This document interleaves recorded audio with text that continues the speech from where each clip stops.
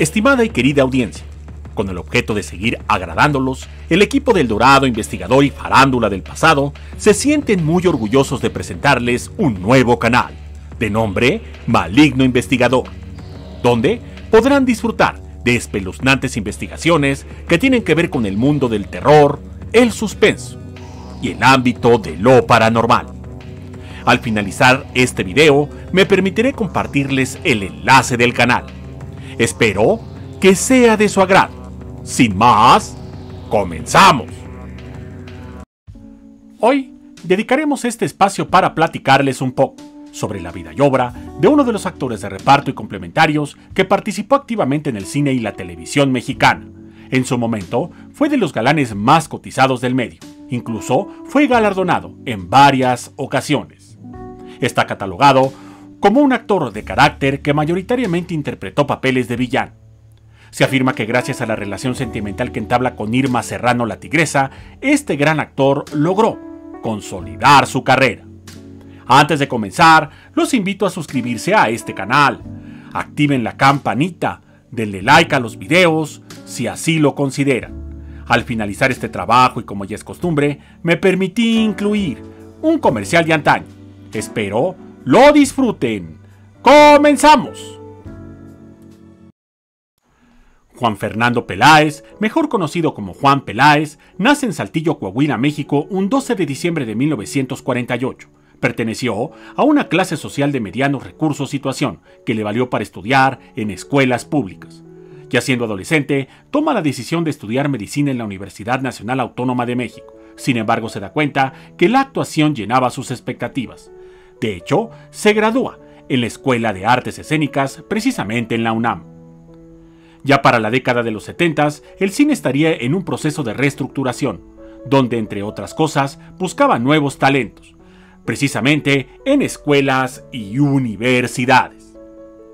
Y es precisamente en esta intensa búsqueda donde observan el talento de Juan, pues según se afirma, tenía una personalidad en los escenarios que pocos podrían presumir.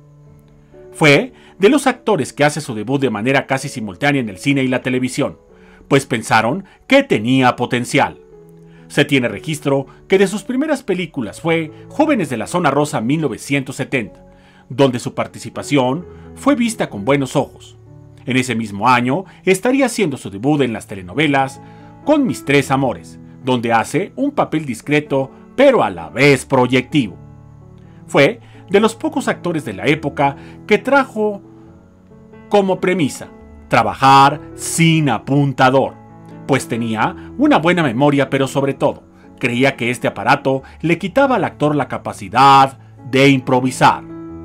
Tuvo en su haber más de 30 películas y 20 telenovelas. Como mencionamos al principio de este interesante trabajo, recién comienza su carrera Juan conoce a la famosa actriz Irma Serrano, la cual venía de un duro rompimiento emocional con el licenciado Gustavo Díaz Ordaz. Se dice que la señora Serrano, de manera casi inmediata, se ofreció para financiar su exitosa carrera. Personas cercanas a la pareja afirmaron que llegaron a vivir juntos en la mansión de la señora Serrano. Pasado algún tiempo, y como pasa en la mayoría de las relaciones, los problemas de celos y malos tratos comenzaron a hacerse presentes, a grado tal que decidieron terminar con la relación. Ya para finales de la década de los 70, Juan tendría una baja significativa de trabajo que lo obligó a enfocarse específicamente en la televisión.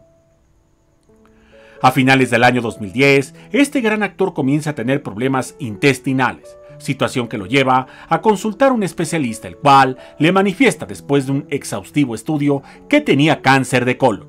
Esto en una etapa temprana, por lo que se podría combatir sin embargo, su cuerpo comienza a deteriorarse de manera rápida, a grado tal que perdería la vida un 23 de noviembre del año 2013.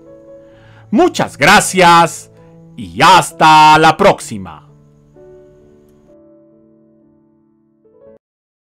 Oye viejo, ven aquí.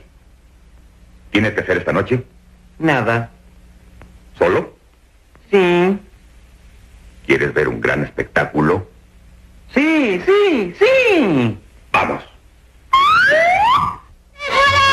Señoras y señoritas, caramelos y bonitas, generales, astronautas, millonarios sin trabajo y demás familia. Las nuevas tandas de El Cancán se presentan hoy y todas las noches en su revista 1967. El pasado, el presente y el futuro. Una renovación completa. Una producción fastuosa con un elenco internacional de primerísima clase. Y yo mero, Manuel Loco Valdés. ¡No se la pierdan!